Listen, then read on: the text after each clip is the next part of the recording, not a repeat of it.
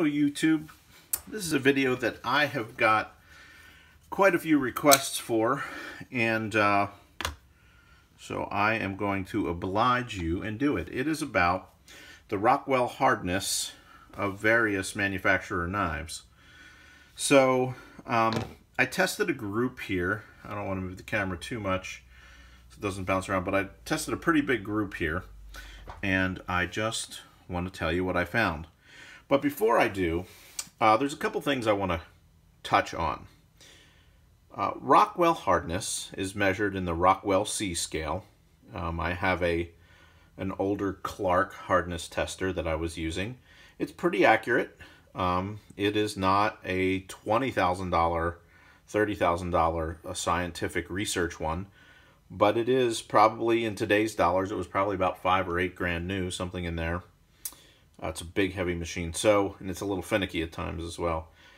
But, um, so these numbers are pretty accurate, um, you know, within a point or so, one way or the other. And uh, the knives are much further apart than a point or so. Which leads me to my next important point. Um, Rockwell hardness is not the only determining factor when it comes to uh, edge retention. So just because you see a certain number on a certain uh, one of these knives, uh, a higher number doesn't even necessarily mean a better steel, and it certainly doesn't always mean a better uh, edge retaining steel. So I think that's an important uh, thing for me to mention, that just because this is higher on the scale, there are other things involved in edge retention like carbides, and some of these steels have a lot of vanadium. So it forms vanadium carbides, which helps in wear resistance even at lower hardnesses. So don't take these numbers as being uh, objective better or less good edge retention to a point. Uh, hard, hardness is probably 60-70% of the equation, but it's not 100% of the equation. So with that in mind, uh, I, I want to walk through a couple of the knives. And I'm going to start uh, i have a feeling I'm going to do another one of these videos, but I'm going to start with the group that I tested this particular time. And let's start out with a classic. Uh, this is a case. I think this is a Stockman. Uh, but case slip joint. Uh, this is their stainless. I believe it's some manner of 420 or 420 HC. I don't know if they have the HC, but it's it's some some manner of 420. And this rock weld out at 54 Rockwell. So this guy Rockwell at 54 Rockwell. All right. Here is a Schatt & Morgan. This is a fantastic knife. This is this is a canoe pattern um, by Schatt & Morgan and Queen Cutlery. Same same company. I really like this knife.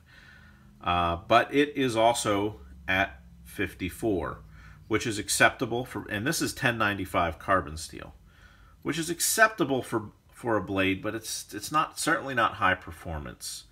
And particularly with something like this where it's a simple carbon steel, uh, it could surely have been run harder. I, I wish that it had been. But anyway, same as the case, same style as the case, same hardness as the case. 54. Next up is the Terminus. Uh, okay, so the Terminus is a SOG, S-O-G. Uh, I really like this thing. Uh, I like slip joints, but this is sort of modern, modern design. It's got a pocket clip, it's very light, and they use BD1 steel on it. Carpenter's BD1 steel. Um, I don't want to review this knife, but anyway, this came out at 56 Rockwell with BD1 steel.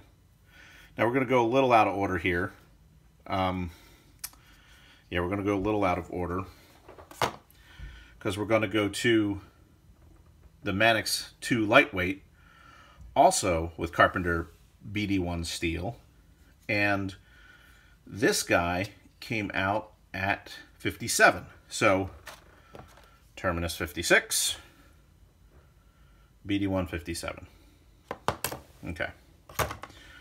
Uh, and now we're going to jump out of order because I want to go to the Spyderco Polestar. Uh, my, my knives are kind of dirty here because I'm one of these guys who uses them. Uh, and they get dirty when they when you use them. So they're in my EDC rotation. I guess I should clean them up a little bit before I take a video. But anyway, this guy is running 60 Rockwell. So, and I tested it three times because I was, I was uh, if you can see, see those three dots? Make that four times. I tested it four times because um, I was like, really?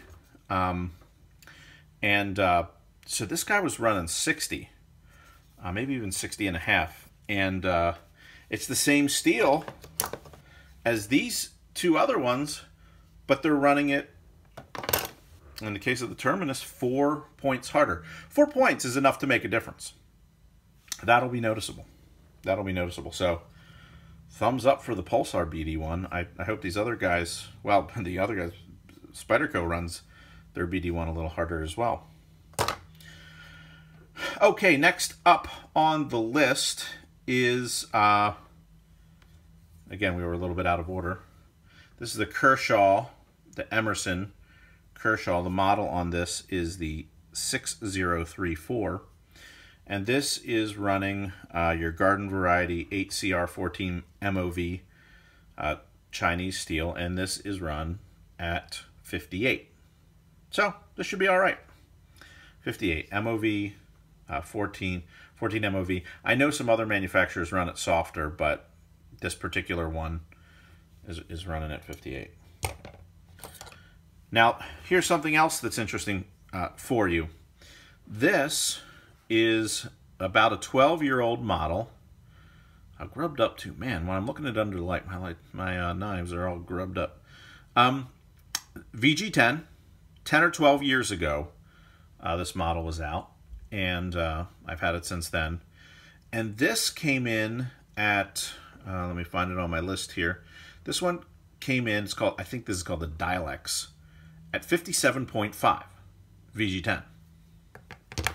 This is the newer mini Jess Horn, and I don't know why I really like these uh, Jess Horn minis by uh, Spyderco. This one came in at 59. So they're, they're running it a couple points harder these days than they were 12 years ago. Just just an interesting observation. These Those would both be Seki City Japan knives. So uh, they were run at that. Which brings us to, again, used on my keychain all the time. This guy goes everywhere. It's probably about time to sharpen it. Uh, ZDP, straight ZDP. This is not laminated. This is a straight ZDP. You can see I have put a couple of divots in there, tested it twice.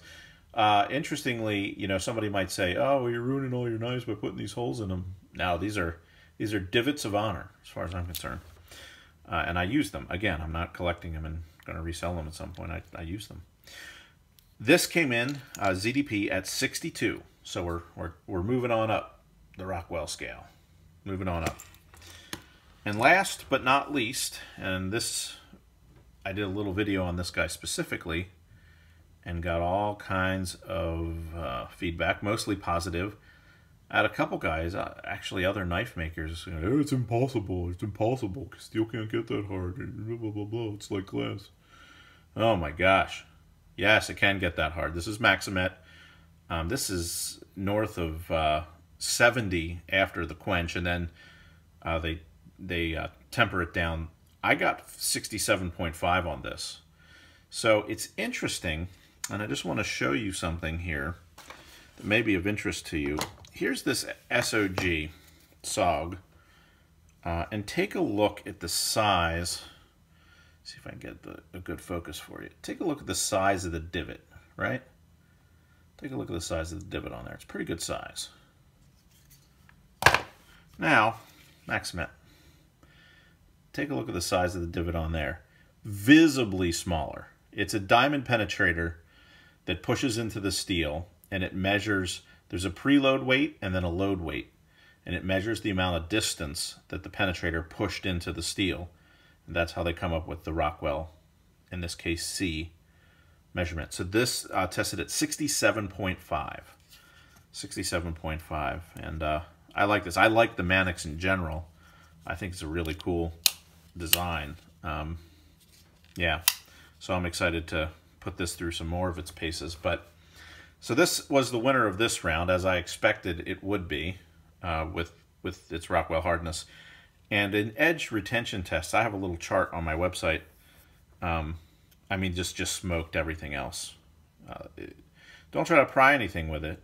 Um, don't try to poke uh, drywall with it. Don't try to you know do anything other than cut relatively softer materials. But if that's what you're going to do, opening boxes and these sorts of things, this will treat you good. It'll stay sharp for a long time anyway. And you'll have to have some skills to sharpen it. So thanks for watching. Don't forget to hit that subscribe button.